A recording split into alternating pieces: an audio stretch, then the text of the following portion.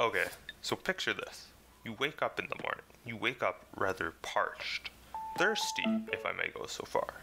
So naturally, you go to the kitchen to get a drink. You get to the kitchen and are met with three to four options. But which one do you choose? Option one is water.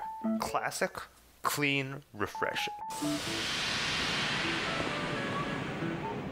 True neutral. The second option is milk. 1%, 2%, soy, almond, whatever it is, it's an all around good choice. You can never go wrong with a glass of cow juice. I'd give it an S. Option 3 is apple juice, a little less common than the first two, but still a solid choice. Waking up to a glass of apple juice is nice and calming. You're doing good, lad! Overall, I'm going to put apple juice in about the middle of the iceberg. Option 4 is orange juice. Orange juice wakes mm. you up in the morning, like a cold shower.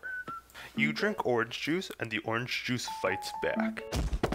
Overall, I'm going to put it below mm. Jim Carrey's The Mask, but above Beverly Hills Chihuahua. And to answer the question posed at the beginning of the video, I think the best choice for your morning drink has got to be Toyota Corolla.